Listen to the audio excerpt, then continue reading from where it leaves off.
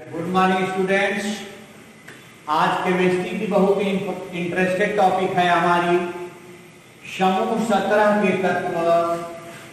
समूह सत्रह की तत्व, उसमें हाइड्रोजन हाइड्रोजन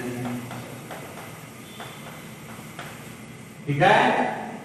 समूह सत्रह यानी सेवेंथ ए अब समूह सत्रह सेवेंथ ए में हमारे पाँच तत्व। क्लोरीन क्लोरीन, ब्रोमीन, आयोडीन और स्टैटिन आते हैं। इन्हें अब हाइड्रोजन परिवार के रसायन विज्ञान में इसको एक्स से एक्स हाइड्रोजन। यह ग्रीक भाषा के दो शब्दों से मिलकर बना। हाइड्रो और जेन। हाइड्रो मीन्स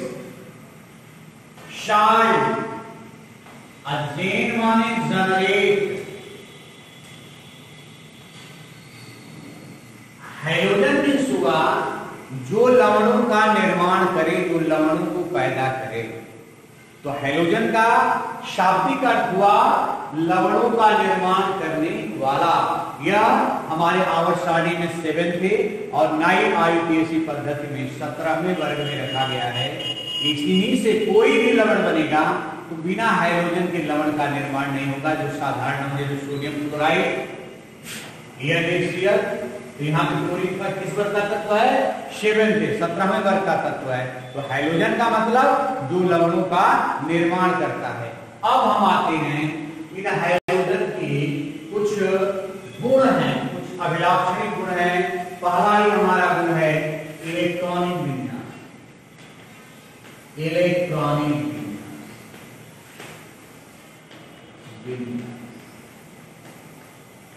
इलेक्ट्रॉनिक विन्यास से स्पष्ट होगा, जब इलेक्ट्रॉनिक विन्यास दिखा देंगे तो जितने भी हाइड्रोजन हैं, इनका सामान्य इलेक्ट्रॉनिक विन्यास होता है NH2NP5 where N is outermost orbit outermost orbit मतलब सबसे बाहरी कक्षा है N अभी मैं इलेक्ट्रॉनिक विन्यास लिख रहा हूँ देखिए नौ का हो जाएगा 1s2 2s2 2p5 सत्रह का जो है 1s2 2s2 2p6 3s2 3p5 पैंतीस का लिखे 1s2 2s2 2p6 3s2 3p6 4s2 4p 3d10 4s2 4p5 दस दस, बीस. दस हो गया दस, बीस.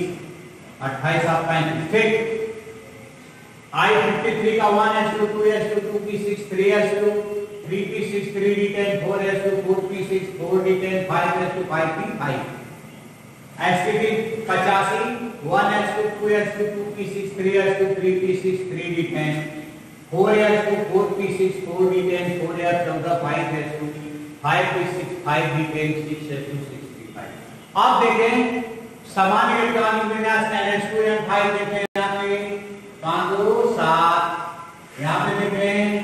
दो सात यहाँ पे देखें पाँच दो सात यहाँ पे देखें पाँच दो सात और यहाँ पर भी पाँच दो सात जितनी भी हमारी आउटर मुस्ताबिक सबसे बाहरी कक्षा है, उसमें इलेक्ट्रॉनों की संख्या कितनी है? सात। इसलिए दूसरा जो इसका गुण है संयोजकता संयोजकता प्राय जितने भी हाइड्रोजन हैं वह एक ऋण एक संयोजकता संयोजकता धनात्मक ही होती है सदैव। इसलिए इनकी संयोजकता क्या होती आठ ऋण सेवन इज़ टू वन और जो घटाने में संयोजकता आती है, वह ऋणात्मक संयोजकता तो हाइड्रोजन परिवार की संयोजकता कितनी हो रही है? ऑक्सीकरण संख्या भी किसकी? कितनी होती है? माइनस। अब बात आती है पूरे आवर्त सारणी में। विद्युत संयोजकता हो गई, यह अवस्था हो गई इसकी माइनस अब आती है विद्युत ऋणात्मक ऋणात्मकता अब इसकी विद्युत ऋणात्मकता पूरे आवर सारणी में हाइड्रोजन परिवार की विद्युत ऋणात्मकता सबसे अधिक होती है। क्यों? क्योंकि इसको अपनी अष्टक पूरा करने के लिए केवल एक इलेक्ट्रॉन की आवश्यकता क्यों? क्योंकि सबसे बाहरी कक्षा में इसके कितने इलेक्ट्रॉन है? सात। और एक इलेक्ट्रॉन और लेगा और अपने अष्टक को क्या कर लेगा? पूरा कर लेगा इसलिए इसकी सब विद्युत ऋणात्मकता पूरे हाइड्रोजन में, पूरे आवर्त सारणी में हाइड्रोजन परिवार की विद्युत ऋणात्मकता सबसे अधिक होती है। ठीक है? अब ये अलग अलग तरह के हेलाइट्स बनाते हैं। जिनका सामान्य सूत्र होता है और एक्स चाहे एम एक्स यम क्या है? धातु। जितने हमारे धातु हैं। जैसे यन में इस तरह के के सीएल कुछ एम टू एक्स की तरह बनाते हैं, जैसे एम टू की तरह भी बनाते हैं, हमारे क्या? हेलाइट्स बनाते हैं। अब इसके हम रासायनिक गुणों की वर्णन करेंगे, लेकिन उसमें जो हमारा सबसे इंपॉर्टेंट टॉपिक है, उस पर हम आएँगे, जिसका नाम है क्लोरीन अगली टॉपिक हमारी क्या होगी? क्लोरीन क्लोरीन के विषय में हम चर्चा करेंगे। बहुत बहुत धन्यवाद। वीडियो लाइक करिए कमेंट करें, तभी आनंद आएगा पढ़ाई।